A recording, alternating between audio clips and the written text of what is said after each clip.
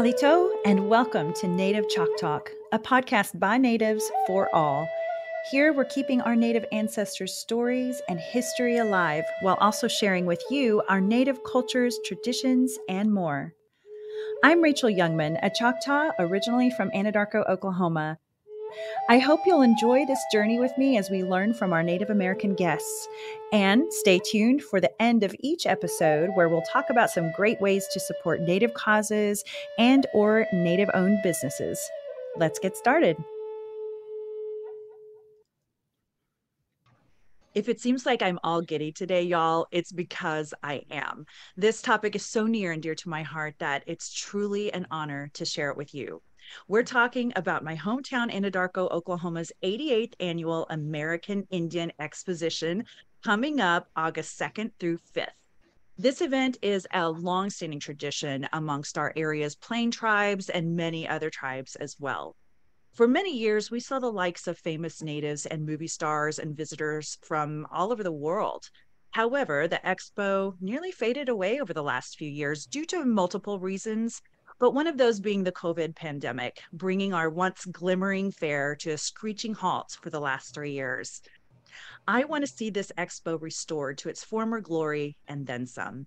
Listeners, if you'd like to experience a very real, uncommercialized, and authentic display of traditional Native community, please join us. This isn't an experience where you have to come feeling unsure if you're wanted. The people here in my hometown are kind and gracious, and they want you here, as do I. So, this is an official invitation for you to join us at our American Indian Expo Parade and Fair on August 2nd, 2023, followed by ongoing days of the fair August 3rd through 5th. You don't want to miss it. Here to talk about this big event and the history of our town is president of the American Indian Expo and former tribal director of the Apache Tribe of Oklahoma, Tanner Mahseet, and Bambi Allen, secretary of the Expo and curator of the Southern Plains Indian Museum in Anadarko, where they're both sitting today. Welcome to you both. Are you excited for the parade and fair? I, I am. Um, the parade is one of my favorite things, um, just to see all the different tribes and businesses yeah. in Anadarko come together and showcase. Right. And I do think that that is one cool thing about Anadarko, among many, is that that is a time when our community really does come together and everybody's excited about it. And as I was saying before we started, my sisters and I, that was the thing we looked forward to every year in August. So, how about you, Bambi? I know you've been really busy as well as secretary there. Um, how, how's it going? Are you are you looking forward to this 88th annual expo? Oh, very much so. Yes.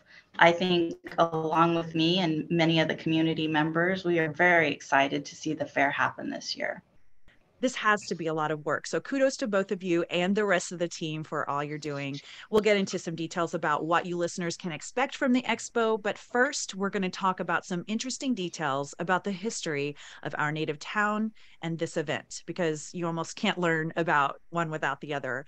In my opinion, for those who love to learn about the past and furthermore about Native American history, Anadarko is a mecca of such history. And the ironic thing to me is not many people know about this area and it's really baffling. or maybe it's good to have this best kept secret in our pocket, but I digress. So, Tanner, for our listeners, feel free to share with us where Anadarko is located. Um, Anadarko is located um, in the county seat of Caddo County. It lies along the south bank of the Washita River and the south central portion of the county. Um, it is situated 18 miles west of Chickasha and at the intersection of US Highway 62, State Highway 9, and US Highway 281. Bambi, what can you tell us about the history of this area and of Anadarko itself? Well, in around 1878, the Kiowa Comanche and Apache reservation was allotted. So the surplus lands were open to settlement in the area, and lotteries happened to be held for the homesteads. So the town lots were auctioned, and approximately around 5,000 uh, buyers were living in what was called Ragtown, and that was in the east edge of Anadarko by around 1901 that ragtown i remember growing up not understanding what that was. I yeah, so that was basically because of all the tents or something. You think? Yeah, some people refer to it as tent city or ragtown, either way. But I think the tents were not what you typically think of today, but more of like whatever cl- cloth or material that they had to make it. Some were canvas or different things. So I think after the winds blow through of Oklahoma, everything turns a bit into a rag.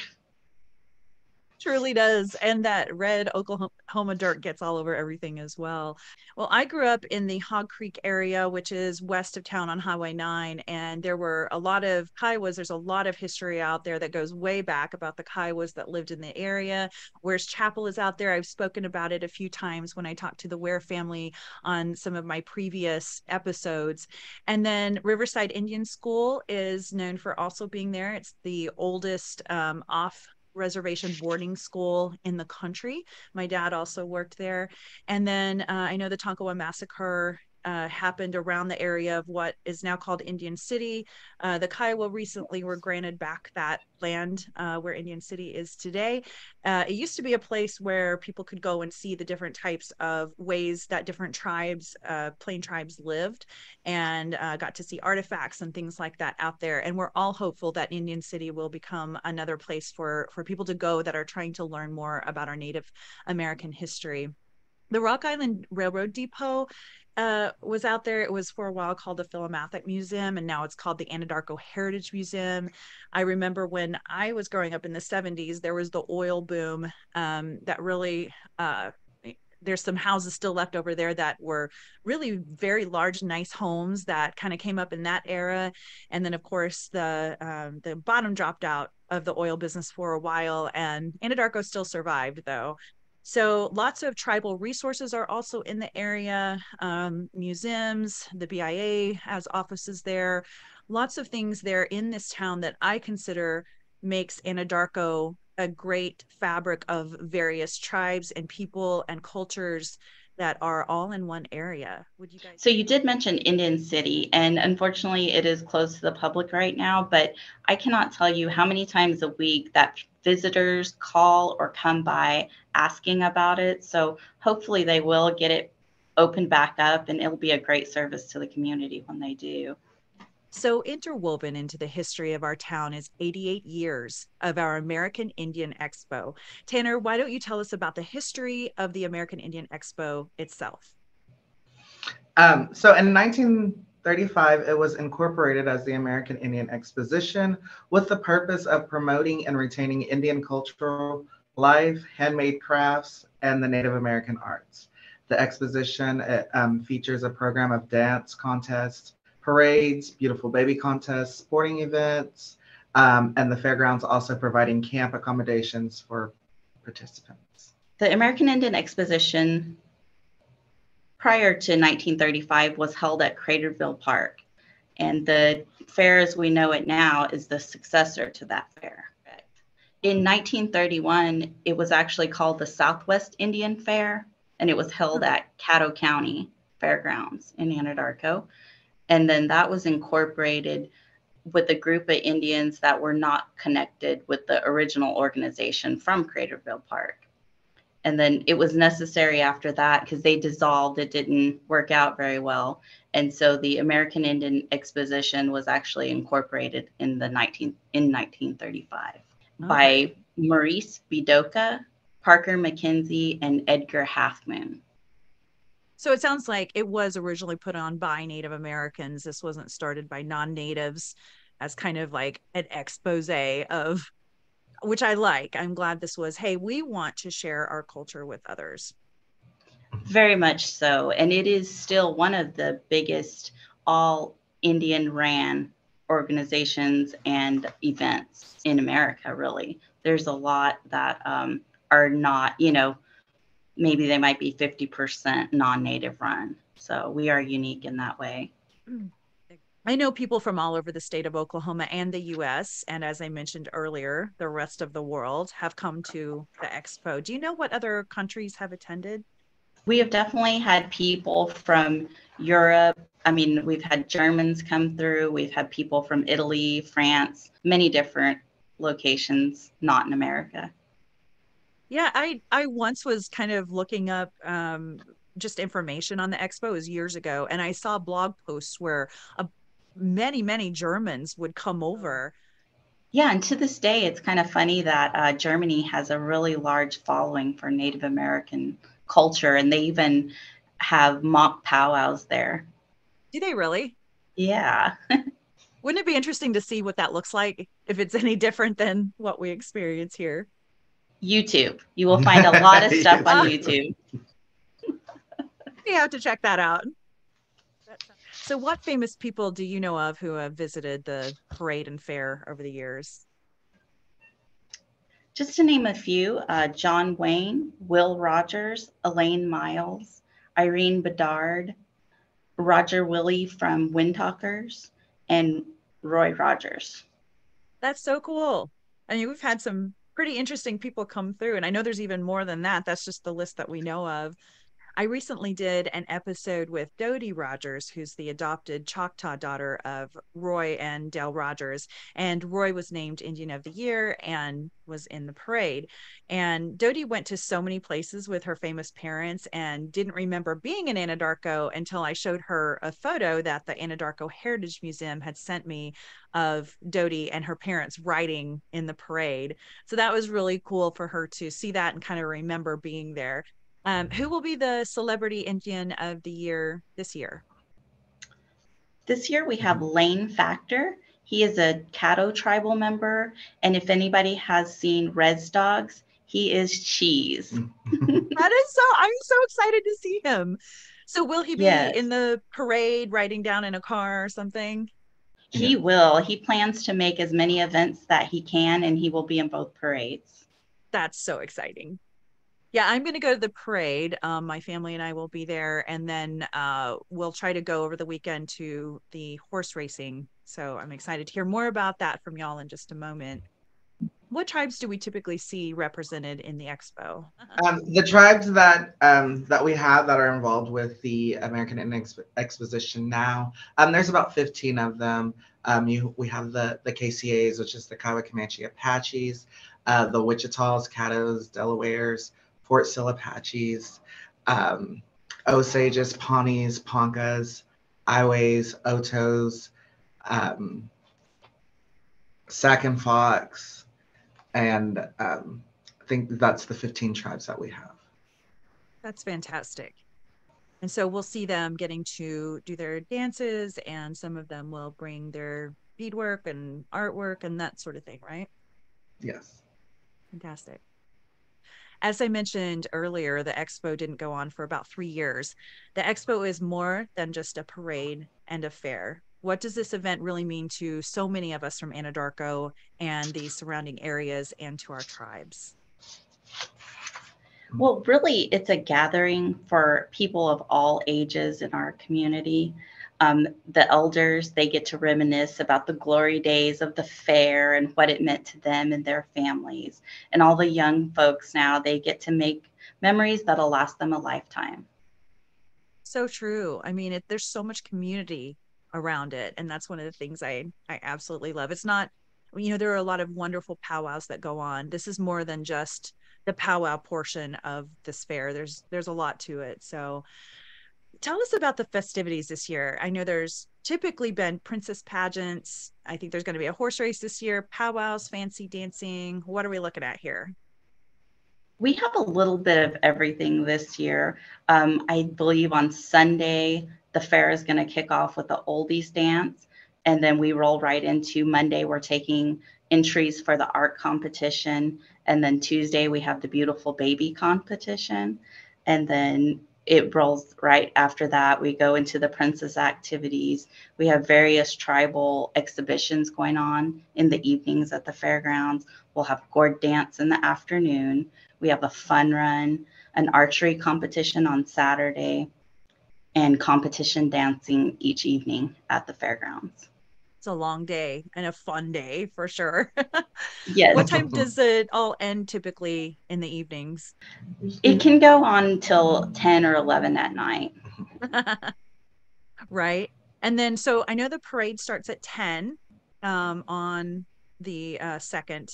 And then from there on that kind of kicks the whole thing off and so where can people go to see an agenda of what's going on each day so we have a facebook um, and it's under the american indian exposition 1935 and that's where we post all of our flyers all of our information um, all of our um, list of activities that we have going on and agendas as such so we mentioned dancing what types of dancing will people see I think one of the number one draws is going to be the man, men's fancy dance competition. People from all around come to see that.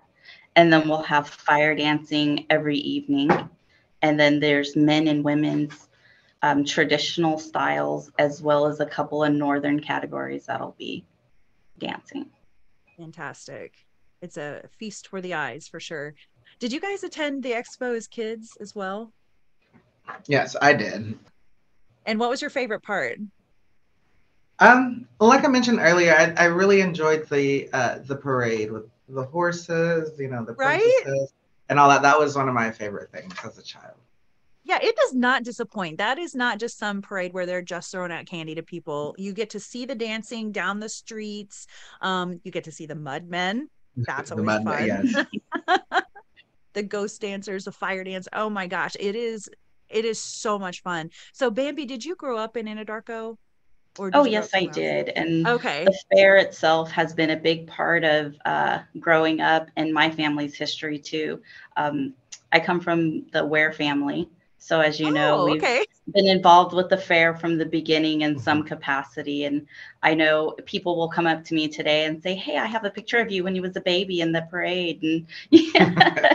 so no it's always fun, funny to see the evolution of that. You know, you have people that come just to see, you know, the different families because most of our years participating in the parade, we were always a walking group. And so one of my uncles or someone in the family would sing, and then we'd stop along the way to dance. So I remember the teepees and tents that would be set up all over the fairgrounds. And it was such a fun community where people could meet for the first time and make new friends or spend several days with their families out and about. So, will people still be setting up camping this year? Is that available? Yes. I'm so glad that hasn't gone away.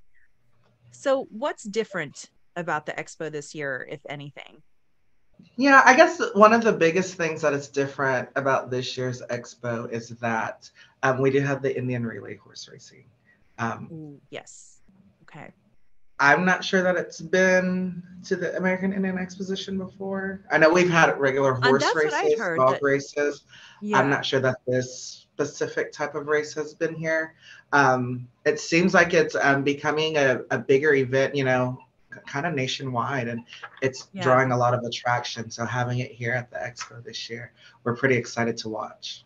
It's I very neat because I know it's popular up north in a lot of the states up there and with mm-hmm. a lot of the tribes, but it's kind of new to Oklahoma in general. And so I yeah. think it's only happened a couple of times. So it's pretty interesting to see the crowds grow for this and the interest for the community. Well, here's a favorite topic for myself and many people. What can we expect fair food wise? Tell me there will be some Indian tacos, some fried food. What will we have there? You can expect the works. We're going to have a little bit of everything. Of course, there will be Indian tacos, and then there'll be meat pies and the funnel cakes. And we just have a good lineup this year of vendors. So it'll mm-hmm. be great. I'm so excited about that. That's going to be awesome. So, is it too late to register at this time to exhibit or serve food or sign up to be part of the festivities, such as such as the horse races um, this year? No, um, uh, we are taking we're accepting vendors up until uh, July thirty first. Um, okay. So they have until the 31st, uh, which is 10 days from today. 10 um, days, get on it, y'all. As a vendor or um, a food vendor or arts and craft vendor. So let's say there are folks that are new to the idea of coming to an expo like this. So I'm going to step into their shoes and ask a few questions. What does one wear to such an expo? The number one thing would be to be comfortable for yourself. Wear good walking shoes and then make sure you're dressed for the weather. It is August. it's going to be hot. August in August Oklahoma. in Oklahoma. yeah Okay, so for those traveling from out of town, where should they stay?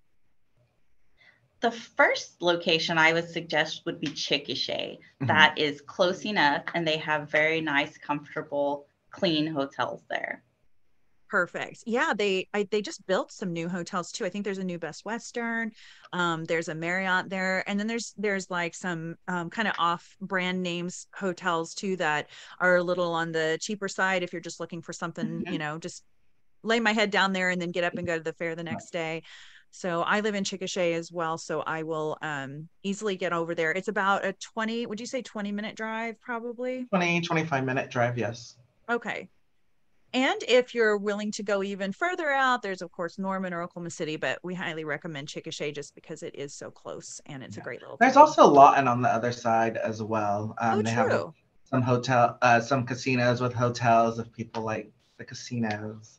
So That's such a good point, actually. Yeah, Lawton, Mhm. Oklahoma. That's in the other direction, so that's more what west, southwest, South. south. South. Okay. So if you're coming up from Texas or something like that, Lawton would definitely be a good choice. The Fort Sill Apaches have a wonderful casino hotel there. Yeah. Yes, get the whole And then right off- Yeah, right off the interstate. I know there's a couple of new hotels also. Mhm. Oh, perfect. Okay, good to know.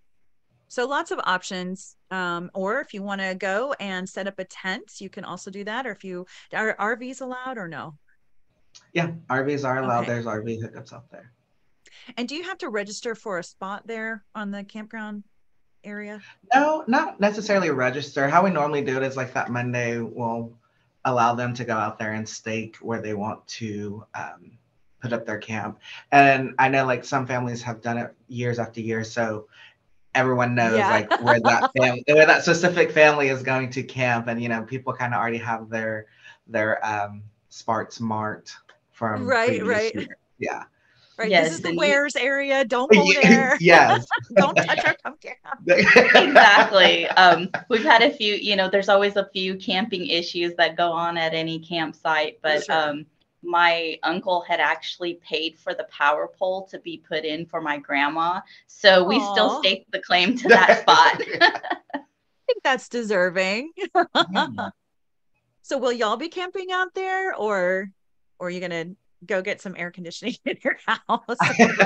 I, um, as the president, and then just being um, a member of the Apache tribe, we're gonna have um, a spot set up, you know, where we can uh, host water, food for any Oh, tribal members or anybody that might be coming that needs a drink of water or something to eat. So we'll be hosting I that. love and that. We'll have something set up for the public. That's that's the Apache hospitality. Thank you so much. So earlier I had mentioned the parade starting on August 2nd at 10 a.m. However, I just found out from y'all that there is a second parade this year. That's so exciting. What day will that parade be on? that parade will be on Saturday, August 5th, and also start beginning at 10 a.m. Oh my gosh, that's great for people that can't get there until the weekend. So that's Yes. fantastic. Where would we park? Because the parade goes down Main Street, right? Okay. Parking is held on any of the side streets. People are more than welcome to just kind of drive along until they until the police block off the roads. You can try to get your spot in there. Some people like to park and then use the, you know, put their tailgate out and sit there and watch the parade. That's that's great. I love that. So you can park, just get there early. What would you say, like 9 30 or something? Yeah, and some people Okay. start at 9, 9:30 trying to get their spots. Some people are usually out there about eight o'clock setting out chairs or Yes. you know and stuff like that. You know, Claiming their steak. because just They like do. camp, just like the campsites, there's certain families that have always been in one specific spot. That's and right. So they try to get there every year and set out their chairs to claim Oh, that's spot. awesome. I know we used to always uh, stand in front of Settle Studio and Bridal Loft. So I think Yeah. that company's still open, correct? Yeah. They are, yes. Okay, good. So that's where I'll be if anyone wants to come say hi. Nice. um, or hopefully it's not taken up by one of the Wares family. we'll be Um, in the parade. We'll be That's waving true. The whole Wares family will be. That's true. What am I thinking? And the good Oh. news about Anadarko is there's no cost for parking anywhere still, right? Correct. Correct. Okay, Great. So this is a fun thing to do with your family. There's no cost for parking. Just come, eat some food, watch the parade. so if someone is non-native, should they feel awkward attending an event like this and will there be other non-natives in attendance? We're getting deep here. They should not feel awkward at all. Um, there are people of all ages, races, sizes, and colors. So there's no reason to feel any kind of embarrassment. Everyone is welcome. Agreed. And and I can also attest to that. Again, I've been going since I was a baby. So um, it's it's every race, it's people from all over. It is not just for Native Americans and and that's that hospitality that I love. Okay. So for um, most of our events, they are um, free of uh, free entry. Um, but we do have a fee at the gate for the horse racing and the gate for the um, powwow. Okay, great. And um, how much is that fee? So the gate for the horse racing is twenty dollars. Um, the gate fee for the powwow is five dollars. Um, okay. However, I know that if you pay for the horse if you go to the horse racing during the day, you, you, that you won't pay to get back in for. Oh, okay. So you'll probably have like a wristband or something. Yes. Okay, that makes sense. All right. So bring a little cash with you. I don't know. Do they take credit cards? Uh, yeah, it'll okay, be cash. Just cash. Cash only. Okay. No worries. So everyone bring some cash with you. Um, I highly recommend going to that horse race for the twenty dollars, and then again, you'll get to go to the powwow as well, which is a great deal. So, would you talk about the etiquette of the powwow and what one can expect to see, do, and not do? Where should they sit? I don't want anyone to come and and not know and feel uncomfortable. As far as seating in the grandstand, we there are plenty of benches and things that are open. So when you come in the gates, you pay your fee. You're right there in the grandstand, and that's typically where the general public will sit and you get the best view of everything that's going on. And one thing to remember as far as etiquette is just be respectful. You know, what you wouldn't want somebody to do to you, you know, don't do to anyone else. Mm-hmm. And if you want to sure. take photos, you know, it's always fine to take general photos of the activities. But if you're going to get up a close up of one person or two people, just ask for verbal permission first. Right. Because would you want a stranger walking up to you and just snapping your photo right into your face? right. and I found that most people are are super happy to, you know, they want to show mm-hmm. off their regalia. They worked hard on it. And so yes. it's just a matter of saying, hey, can I get a quick picture with you or of you? And if they say no, don't take it personally. It's no big deal. No. Maybe they're about to go out and dance or something. So let's talk about the words regalia and costumes. We were talking about respect earlier, so I think this kind of goes along with that. What are your thoughts on the best terminology to use when, let's say, you want to walk up to somebody in their fancy dance wear and tell them you like their attire, for instance? Regalia is preferred by a lot of people. Um, the word costumes does not go over well. You know, you think of Halloween or something like that. But right. yeah, the majority of people will uh, prefer regalia, or you can just say, May I take a picture of you? Right. Right. You don't have to go into all the nomenclature if you get nervous. Just again, exactly, go back to yeah. the yeah. Okay, good to know. So, what do the ceremonies and drumming and dancing typically mean to our tribes? I know that's a big question because it can mean, you know, all different kinds of things to different tribes. But what's the overall feel and reasoning behind these actions? Well, the to most people, it just brings a real connection to who we are as a people. And it's more than just a way to pass time. And what we do at the exposition is for the public. So you're not going to see us do something that we don't want uh, people to see. It is an exposition of our culture. True. True. Okay. That makes total sense. I'm sure some folks will want to know are there restaurants in Anadarko in case they want to leave the fair to eat? Uh, what places would you recommend there? If you're here during the weekday, the Soda Fountain Eatery downtown is a wonderful oh, little stop. So There's we also have a new one, the Anadarko Grill or the Darko Grill. Darko Grill. Oh, and then okay. Also, there's Joe's Burgers. Yeah. Yep. Yep. And Munoz Mhm. Mexican restaurant. Yes, and uh, we also have the casino is always real good. It's always real busy. It has a variety um, of different things on the menu, and That's kids are welcome. Great. And which casino is that? Is is that Kiowa? Uh, Gold River Casino, owned by the Delaware River. Nation. Oh, perfect. Okay. I need to remember to go to those. So I will be visiting them over those days I'm at the fair. But mostly I'm going to be eating fair food. I'm sure everybody will be as well. Yes. so, But yeah, there'll be a def- uh, several different uh, food trucks out there, whether it's barbecue, Ooh. Indian tacos, you know, um, Cajun food. We, there's a variety of stuff that's coming to town, and we are really excited about it. I'm ready to try all the different foods out there. Heck yeah. Oh, you know, something I, I meant to ask you earlier for people who do want to be a vendor, uh, like a food truck or something, who do they contact um, about that?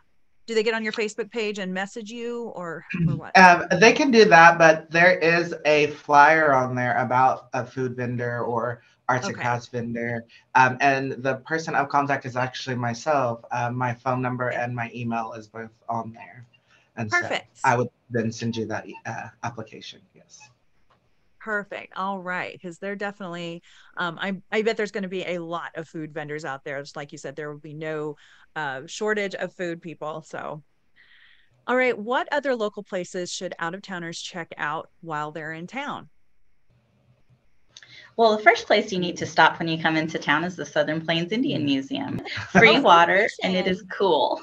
we'll break from the heat, and you can see the art competition entries while you're here. So, after you visit the museum, you're welcome to go next door to the visitor center. We also have the murals downtown at the post office, which is always open, and they're wonderful to see. And then we have the. Anadarko Heritage Museum and the Wichita History Center. Oh, yeah. Such a great idea. Um, and the murals that are in the post office, and it, it is obviously downtown as well. And the murals are there are uh, from Stephen Mopope. Uh, he is one of the Kiowa Five, also known as the Kiowa Six, the famous Native American artists that actually, you know, basically revolutionized and set the groundwork for Native American art moving forward. In my personal Yes. opinion, yes. You walk in and it's just oh it's breathtaking. Um on my Native ChocTalk website one of the photos on there is one of those pictures from the murals at the post office. So that'll kind of give you an idea of of what those look like. We all highly recommend you go see those and the other items that were mentioned. There's also an, another event that's going on as well, not to take from us, but the Chamber of Commerce is um, teaming up, you know, with an uh, exposition this year, and we're trying to get this thing not where it's only held at the fairgrounds, but it's kind of like a, you know, a, a town-wide, um, you know, event that's going on, and so they'll be hosting in the on the weekends and the evenings downtown, um, like live bands and you know, um, drinks outside uh, on the patios of the streets in downtown area. so that's new to me um Yeah, that is new. Okay, okay. That is so exciting. So people can go back and forth between the fair, they can go to um and and that is downtown you said uh the Chamber of Commerce is putting it on. That's really cool. Yes. Great. So does anyone know if McKee's Indian store is open to the public yet? They um they have a grand entry the day of the parade. So their grand entry is immediately following the parade on Wednesday. Okay. Sorry, th- their grand opening. What did I say? Grand entry. Okay, start over. Sorry. I'm gonna let Mary answer. that. okay, li- for you listeners, these people have been working 24/7 on this expo. So we're everybody's tired. Um I I won't put myself in that category because you guys are doing the hard work here. So um that's really exciting that okay. So McKee's Indian store is somewhere that I have been shopping for years. This ring is from there, my earrings are from there. Just about every piece of jewelry I have is from McKee's Indian store. Um it's been- been there for many years. The Caddo recently purchased it and so that's why I was asking, is it open again? Because if y'all are looking for beautiful jewelry owned, you know, put out by Native Americans, the store owned by Native Americans, it's a great way to support our communities. And it's just a wonderful store. There's lots to choose from there. So looking forward to going there myself and seeing all the stuff that they're doing. See, there's so much to do there in Anadarko. So, thank you both for your time and for this important information. As I mentioned earlier, this expo means so much to so many of us. It's more than just a get together, it's about community and history and survival and resilience and celebration. And I think, especially with the years that were recently missed, this event uh, this year is going to come back, you know, stronger than ever. Listeners, whatever you're planning over August 2nd through 5th of this year, 2023, put aside your plans and come see me, Tanner, and Bambi, and come see our proud tribes and the displays of our culture, traditions, and strength. Tanner and Bambi, Yakoke. Thank you. Aho. Thanks for listening to Native Chalk Talk. Be sure to join our community on Facebook, Instagram, Twitter, and LinkedIn. Simply search for Native Chalk Talk. That's Native, C H O C T A L K. And check us out at nativechoctalk.com. Stay tuned for the next episode. You're going to love it. Yakoke. Thank you, my friends.